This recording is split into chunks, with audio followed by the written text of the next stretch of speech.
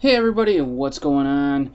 Buddy Blackford here with another Photoshop CS6 tutorial and let's jump right in. Today we're going to learn about transforming our uh, images. So what we're going to learn today is using the free transform and then the transform menu selections. Um, let's go over here to edit and then you can see down here where we got the free transform and the transform button. Now all you really need to follow along is just any picture and uh, put it over top of any background that you want. This background could be just a, um, it could be nothing like this, but this background kind of makes me have like optical illusions in my eyes, like it's moving around for some reason, so I never really use it. Maybe it's just my eyes are effed up or something like that, but oh well. So I'm going to put it over top of this just regular uh, beach background and I'm just going to be working on layer 1 down here which is this smaller picture. So let's start off with free transform. Let's go to edit and free transform and notice that control T is the hotkey.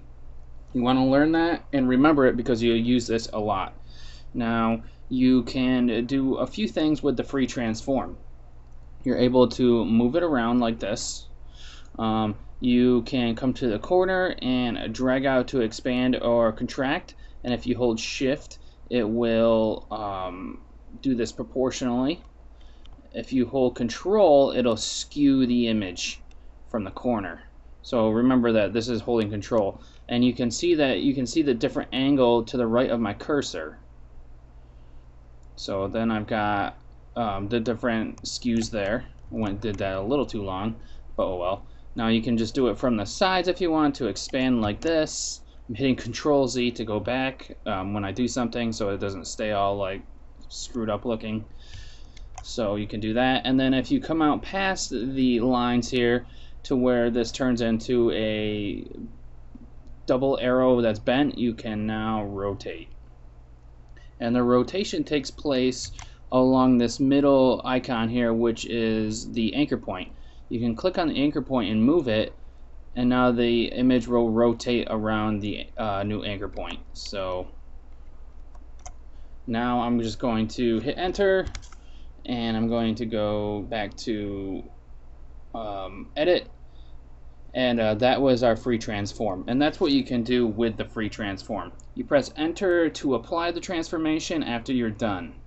So let's go to transform and then we've got some new um, items here that we can use to just individually uh, do things uh, quickly or you just want to work on one uh, parameter or something like that. So we've got again here and all again does is let you repeat the previous transformation. So if I scaled and I did my scale here now you can see when I click on scale I'm not able to do like the rotation or anything like that so um, this is scale. So if I scale this up and hit enter, and then I go to edit, transform, and then I go to again, it's going to scale it up by that much again. So that's what the again button does. Now I don't think I have to go through everything. Rotate allows you to rotate it. Skew um, allows you to uh, skew the edges, just like kind of like if you were holding the control button. So let's go to edit, transform, and then here's distort, which um, almost the same thing, but it just, just distorts the picture a little more and like kind of like looks like it's bringing it forward or backwards. So um, actually when you hold down control it actually does the distort when you're in the free transform and not the skew. So um, just remember that it does a distort always click on image first for some reason. Transform, and we've got perspective. Um, it basically just lets you change the perspective of the of it. So you can see how this works out as I'm just moving this along, and we can see the different perspectives that we've got here. So I'm moving from left to right with my mouse. If I move up to down, it doesn't really do anything control Z and then this way you can see which way you can move by when you hover over one of the squares or a line it'll show you a left and right arrow means you move your mouse button left and right and this wouldn't uh, move my mouse up and down. So hopefully that makes sense. Oh, I just clicked on the I just put in I clicked on something that made my uh, Camtasia do all this goofy stuff. I don't want it to, so I'm gonna pause for a second. Oh, and I'm back. It wants me to draw my screen. Look at that. Awesome. Thanks, Camtasia. It's not what I wanted to do. So I fixed whatever the hell was going on with my Camtasia, and let's keep going. Camtasia is a screen screen recorder. Um, I accidentally hit screen draw somehow by pressing a hotkey that I didn't even know existed. So let's get going back to what we're doing. So the next thing that we were on is um, transform and warp. And warp gives you like a little grid and you can pull the different points here and move around like the image and stretch it out and warp it around. Now we've got uh, a couple images that are go or a couple things that are going on here. We've got our grid here where you can click on the different points and um, warp those points around. we've got custom here. Um, you can select different types of warps to uh, do if you would want. Um, let's go to none to bring it back to what it's doing.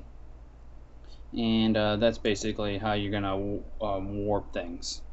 So let's go back to our transform menu. We've got a couple here. I mean these are self-explanatory. Rotate 180 degrees. So that's what that does and then you got rotate 90 degrees clockwise and 90 degrees counterclockwise then you've got the ability to flip the image over the horizontal line or flip it vertically so um, let's just flip it vertically right now. And that's what basically it does. rotates 180 degrees pretty much. So those are what you can do with your transform. So there's flip horizontal to make it look like it's going the other way. That's it for the different transform menu items. Um, all those, remember, were located under edit, and then free transform or transform. And remember control T for free transform because you'll be using that a lot. Free transform has a lot of the things already within it. The only things it doesn't have are skew, perspective, and warp. So if you ever need to use those three, just go ahead and use the transform menu and such and such. So thanks for watching this tutorial and I look forward to seeing you guys in the next tutorial where we're just going to be learning how to use the crop tool. So see you guys in that one. Have a good one. Goodbye.